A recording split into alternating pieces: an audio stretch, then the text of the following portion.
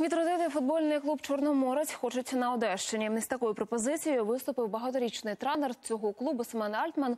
Сьогодні йому присвоїли звання почесного громадянина області. Легенда українського спорту закликав мужновладців розвивати футбол.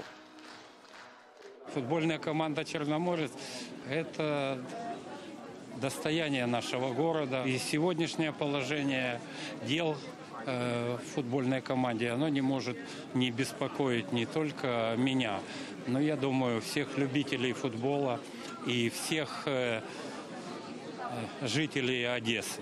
Для меня Черноморец – это моя э, родная команда со всех э, точек зрения. За нее болею сколько э, себя помню. И считаю, что вот будет очень так символично, если э, э, награждение Семеновича этим почетным званием э, даст толчок для того, чтобы областная власть обратила внимание на больше внимания на футбол, для развития массового футбола.